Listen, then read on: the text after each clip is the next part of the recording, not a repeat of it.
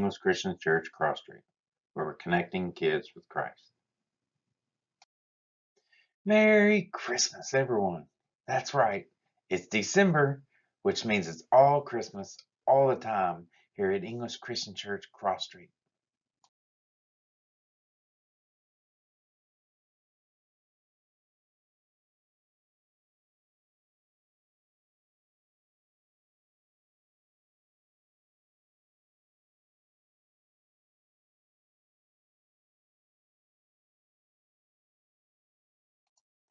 Christmas means celebrating Jesus, God's greatest gift. And I say that calls for a light show. Let the Christmas celebration begin.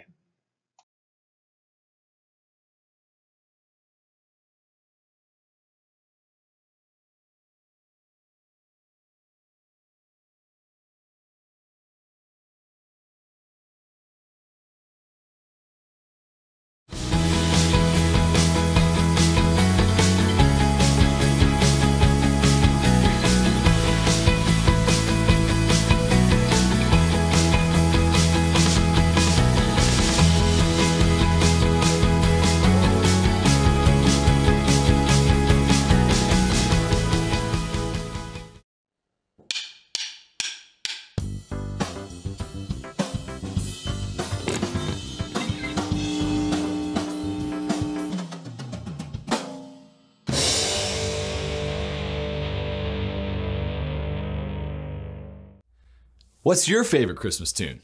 It's beginning to look a lot like Christmas. Deck the halls with boughs of holly, fa la la la la la la la la. Oh, jingle bells, jingle bells, jingle all the way. And I, I, I am dreaming of a white Oh, Rudolph the red-nosed reindeer had a very shiny nose. I love a good Christmas song to celebrate, and these are a lot of fun. But I also love the carols that tell why we celebrate. Go tell it on the mountain, over the hills and everywhere. Go and tell it on the mountain that Jesus Christ is born. Or, hark the herald angels sing, glory to the newborn King. Peace on earth and mercy mild, God and sinners reconciled.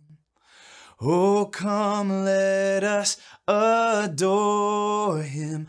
Oh, come, let us adore him. Oh, come, let us adore him, Christ the Lord. Christmas is when God sent his very own son, Jesus, to live with us. It's a key part of the rescue plan. It's the time God chose to make peace with us. When we celebrate what Christmas is truly about, others can see God at work, not just in us, but in the world around us. That's why choosing to celebrate the true meaning of Christmas is an amazing way to worship God with your life. Because worship is about more than just singing loud, it's all about living loud.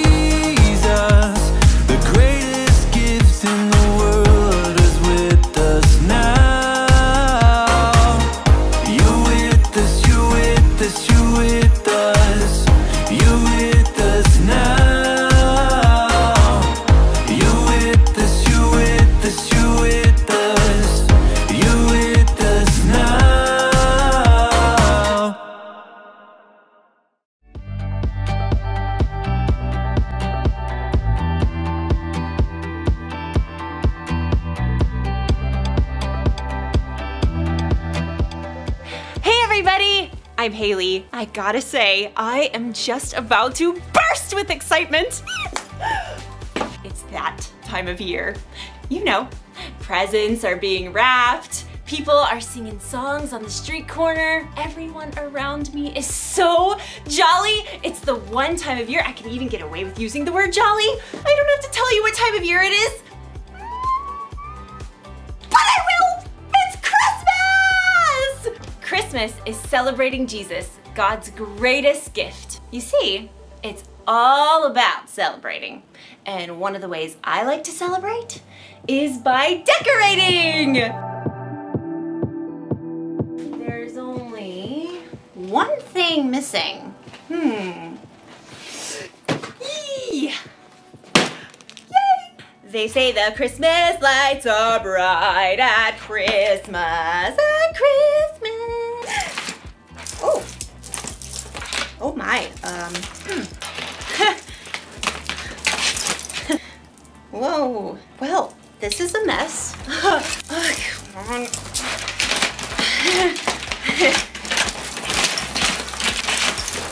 How did this happen? The lights were untangled when I put them in the box last year. Are they moving around in there? Oh, I'll never be able to untangle all of this. This is impossible. Uh, well, suddenly, I don't feel like celebrating anymore. Isn't it strange how sometimes you feel like celebrating and then something happens that makes celebrating impossible? Well, in today's story, you'll see how there's always some reason to celebrate, even when things seem impossible. Hey, maybe I could use these lights the way they are. Yeah, yeah.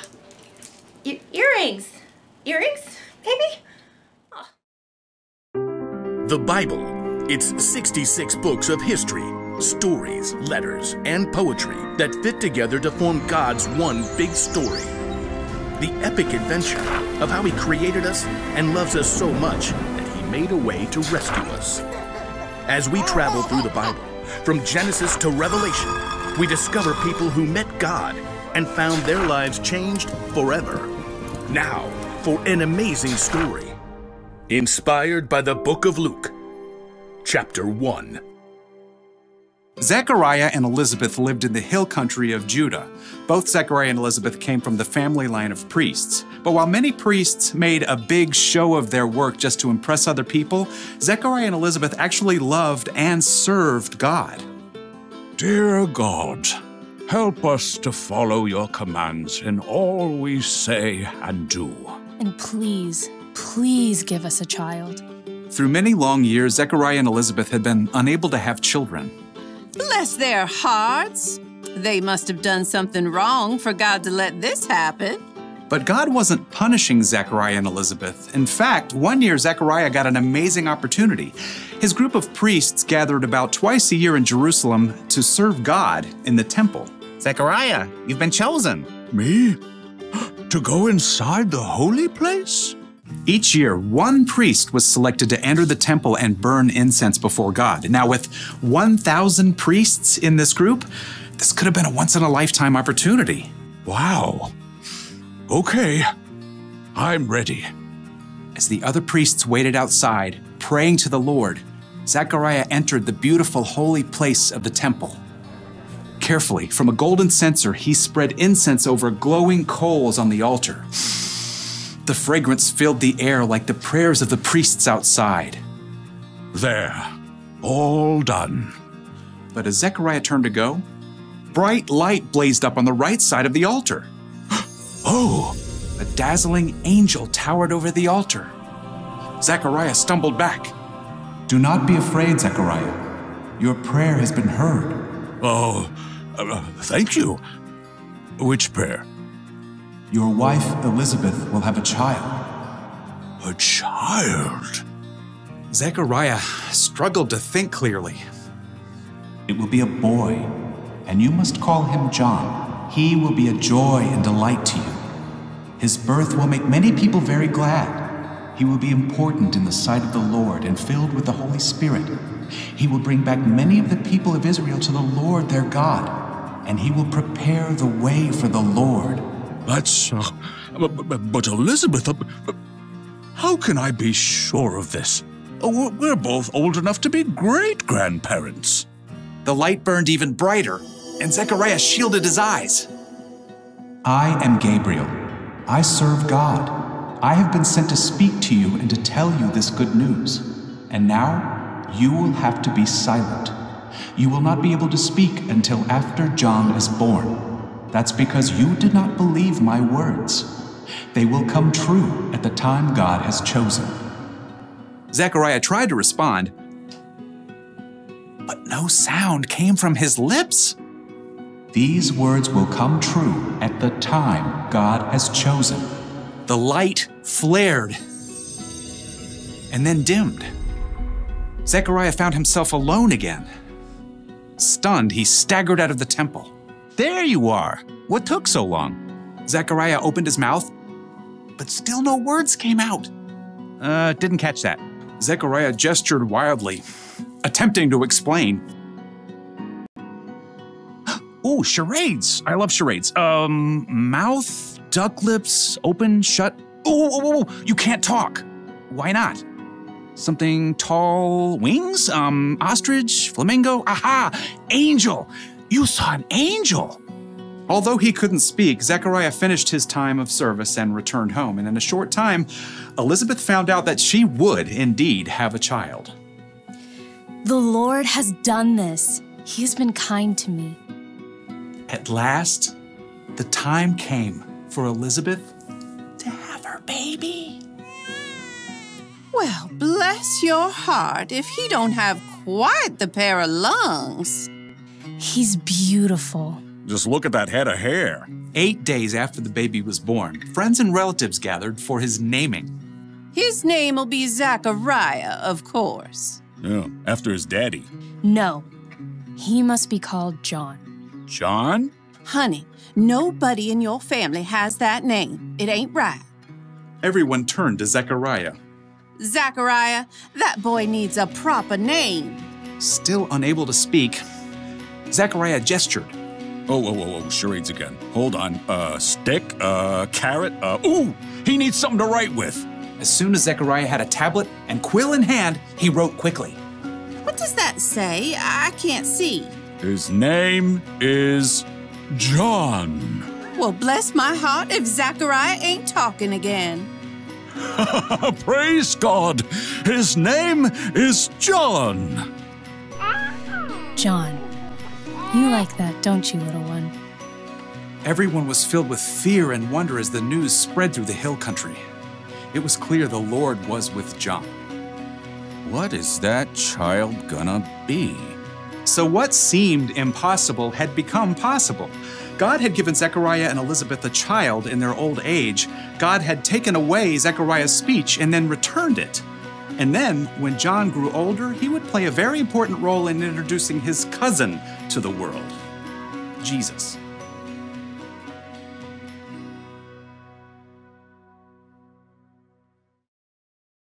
As I was thinking about today's story, an idea occurred to me. One thing I can celebrate today. So, Zechariah and Elizabeth were too old to have children. It was impossible. But God made it happen. They had John, who would grow up to introduce his cousin, Jesus, to the world. Nothing is impossible for God. He can do anything. Here's why that's worth celebrating. There are things in our lives that seem impossible. Could be a tough subject at school, could be a problem you're having at home, or a disagreement you're having with a friend. Your problem could be so bad you think you'll never be able to untangle it. But if God is able to give life, then He's able to give you knowledge and wisdom to get through that tough subject in school. If God is powerful enough to control the weather, then He's powerful enough to help you weather any storms that come your way. And if God can bring peace to the whole world through the sacrifice of His Son, then He can bring peace to your life and in your relationships. God can do anything. So, here's the one thing to remember today celebrate because God can do anything. I'm not sure if God will physically come down here and do something about my uh, problem, but if He can create the universe from nothing, then I believe that He can give me the patience, determination, and creativity I need to untangle these lights. Hmm. And that makes me want to celebrate. Yee! Merry Christmas! Here goes. See you next time.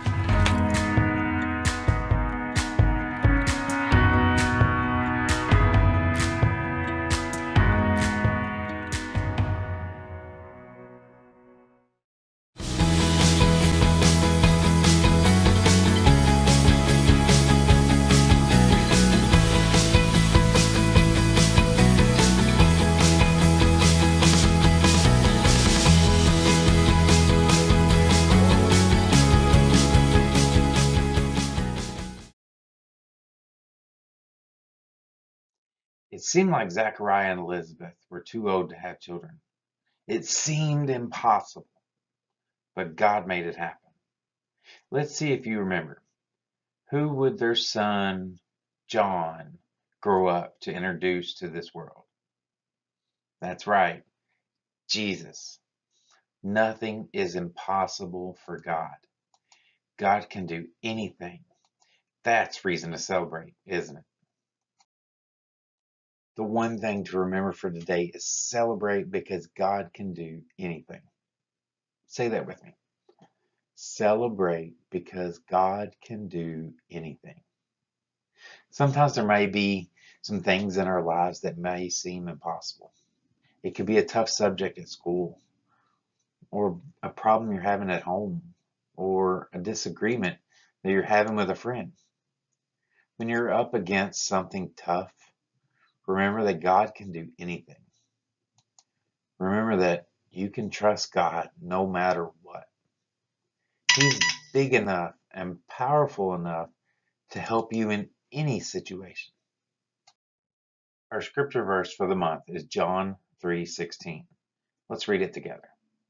For God so loved the world that he gave his one and only son that whoever believes in him shall not perish but have eternal life. So let's pray. Dear God, thank you for showing us the story of Zachariah and Elizabeth, how you can do anything. It's so cool to think that Zachariah and Elizabeth's son John went on to play an important story in Jesus. Help us remember that nothing is impossible for you. Help us to trust you and remember that you are with us in the good times and the tough times. You're right there through everything, through anything that we may face. We love you and we pray these things in Jesus' name. Amen. Hey, you ready for the Christmas photo? I am. I, right. I just keep feeling like we're forgetting something. Kellen! Oh, We gotta have Kellen in the picture. yeah, that's true. Oh, I got it. We'll uh, just leave some space in between us, and then we can put them in later. That's brilliant. Yeah. Okay, that should do it. Yeah. Okay, here we go. One, two, three.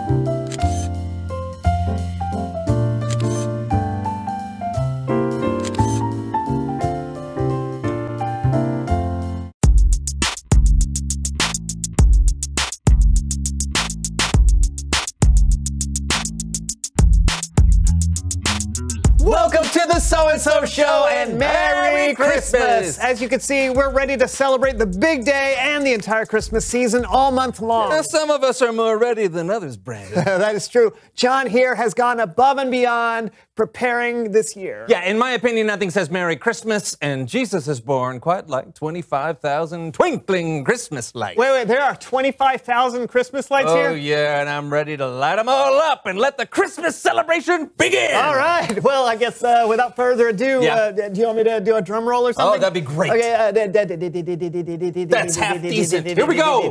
Three, two, one, boom! Are they supposed to? Yeah, hold on, hold on. Oh, uh, the plug was up. All Okay, right. ready? Three, two, one.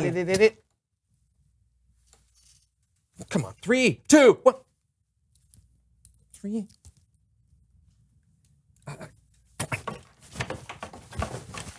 Okay. I, I don't think you're supposed to shake them like that. I don't understand. They were just working earlier. Well, I can picture it in my mind, and it's breathtaking. Oh, thanks, Brandon. Yeah.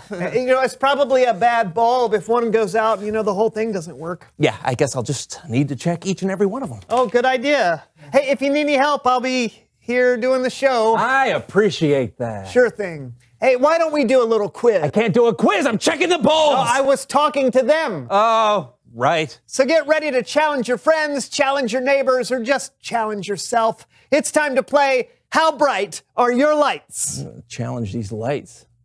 How bright are your lights?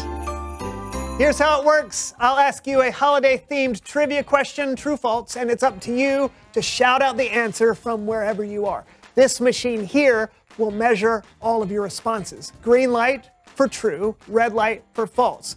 If most of you get the right answer, I will eat a bite of John's Aunt Margaret's 24 year old fruitcake. Hey, I was saving that. For what? I don't know. Here we go. First question. Thomas Edison invented electric Christmas tree lights. Is that true or false? Shout out your answers. All right, we got some trues, we got some falses. Where's it gonna land? All right, time's up.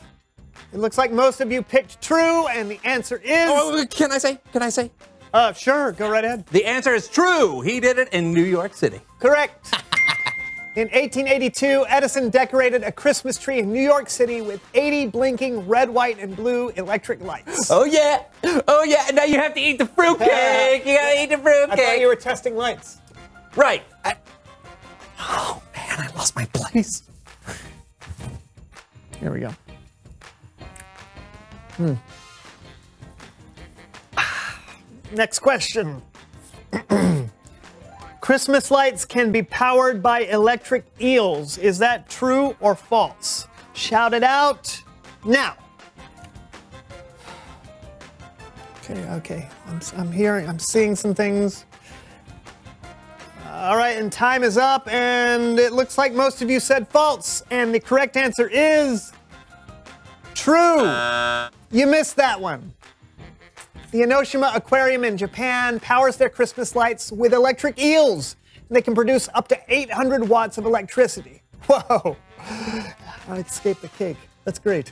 Question three 20 million pounds of Christmas lights are recycled every year. True or false? You got a guess, John? Uh, don't talk to me. I don't want to lose my place. Okie dokie. Let's hear your answers. Go!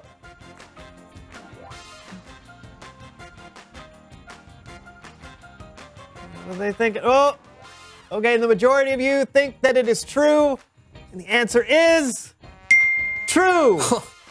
Over 20 million pounds of lights are shipped to Shijiao, China every year to be recycled into new Christmas lights or other products such as furniture, ornaments, or slippers. I don't think I'd want to wear slippers made out of Christmas lights. Yeah, it does seem like a strange thing to make. Yeah. Hey, I thought you didn't want us to talk to you.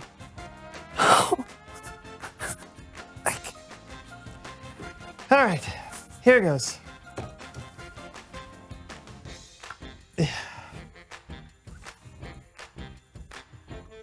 Oh. I, I like how it stains mm-hmm. things. I do not want another bite of that, okay? Get this one wrong. You're missing out. Last question.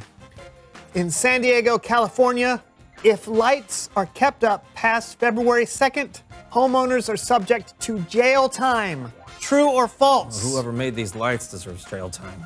I'm telling you that. no!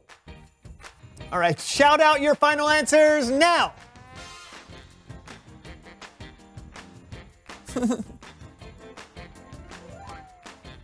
okay, time is up. You say it's false, and the answer is.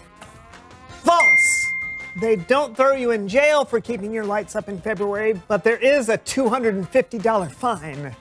which I would gladly pay if I could avoid eating this fruitcake. But a deal's a deal.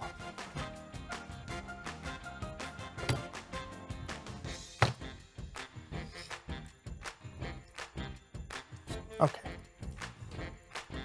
That is not good. Hmm. Huh. Thanks for playing, everybody. How's it going, John? Not well. I don't know where I am. It's Bible story time with Kellen.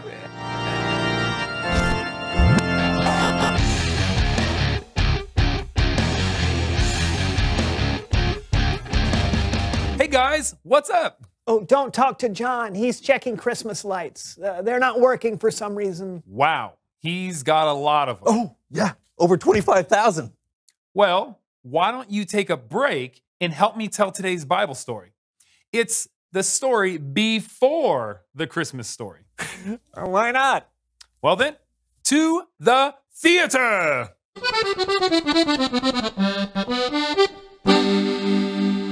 There was a priest named Zechariah. I'm a priest, and I've been doing that a long time. And his wife, Elizabeth. I'm his wife, and I've been doing that an even longer time. They loved and served God faithfully for many years, but had been unable to have children. Oh, dear God, thank you for the many blessings you've poured out on us. We are truly grateful. Truly grateful. But even though we are now old, we would still like to have a child. I have a rattle and everything. Hmm, hmm, hmm, One day, Zechariah was chosen to go into the temple of the Lord in Jerusalem. His job was to burn incense as a way to honor God. Mmm, nothing like the smell of burning incense. While he was there, an angel appeared. Zechariah! Ooh! Oh, stay back! I've got this burning ball of sweet smell, and I'm not afraid to use it. Do not be afraid, Zechariah. Hmm? Do not be afraid.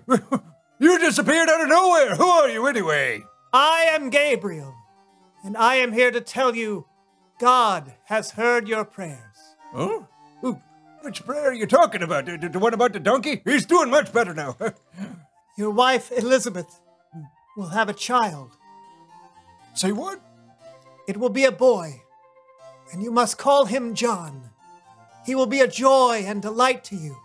He will bring back many of the people of Israel to the Lord their God, and he will prepare the way for the Lord. oh, come on! We can have a baby, we're too old! Who put you up to this? Was it Meshach? I mean, oh, no, maybe it was Ooze. Ooze? Oh, no. I have been sent by God oh. to speak to you and tell you this good news. But because you did not believe my words, you will be unable to speak until after John is born. Zechariah returned home to Elizabeth, still unable to speak. You're saying I have big news. Oh, really, I do too. I'm gonna have a baby. Oh, oh. You're saying I know. An angel told me. Really? After a few months, or nine, Elizabeth had her baby. You know, all the neighbors think we should call you Zechariah Jr. after your papa. My Aunt Gertrude wanted your name to be Ezekiel. They call you EZ for short. My dad thought it should be Bob. No, John! His name will be John! I know, that's what I told them. Oh, thank you. Thank you. Wait, I can talk. I can talk! Yeah! I don't need your flags! Get out of my hands! Once again, God proved he can do anything. Zechariah and Elizabeth were blessed with a child in their old age. a baby who would grow up to be known as John the Baptist. And God had a very special job for John. John would help introduce his cousin, Jesus, to the world, and he would announce God's plan to rescue his people. The end. Or technically, the beginning. Now that's a way to start off a celebration. God knows how to set the scene for his story. I'll say. Thanks, Kellen. See ya. Catch you later. You know, John, it's amazing when you really think about the fact that there is nothing God can't do. I mean, He can do things that we think are impossible. There's a reason to celebrate God every day, don't you think? Yes, I do. I'm just celebrating on the inside. Oh, good to hear. Reveal the question. What are some things you celebrate? Oh, well, there's uh, birthdays, uh, half birthdays, A test days. What's an A test day? You know, when you get an A on a test. Oh. Happened twice at my house. My my sister's really smart. Or it doesn't have to be a day. You can celebrate when you do well at a soccer game or when you finally finish putting away the dishes. Or, or when God does something really amazing in your life. Yeah. Are you really going to check every single ball? Well, what else can I do, well, Brandon? I don't know. Have you did you check to make sure the extension cord was plugged into the wall? Do you think I'd really check all of these bulbs if I wasn't sure the extension cord wasn't plugged into the wall? I'm gonna go check the extension cord.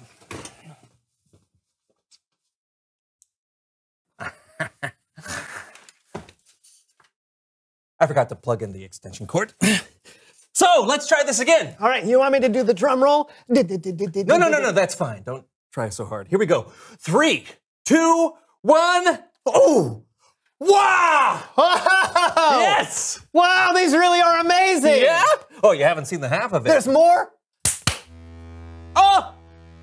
Oh, you know, I, I think maybe that's a little too much. Really? Yeah, yeah, maybe just a little. Ow. Okay, we'll uh, we'll see you next week for a brand new show uh, all about celebrating Christmas. Yeah, I, I hope we'll see then. My eyes are starting to hurt. Hey guys! So I'm here for the Christmas photo shoot. Guys? John? Brandon?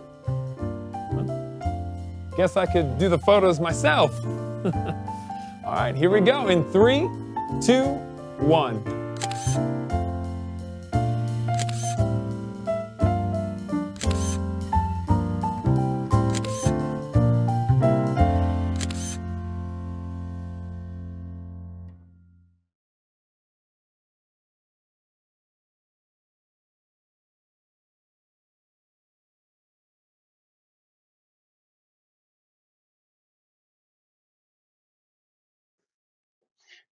So thanks for joining us for another week of English Christian Church Cross Street. Can't wait to see you next week live in person at the church. We're here on YouTube. See you next week.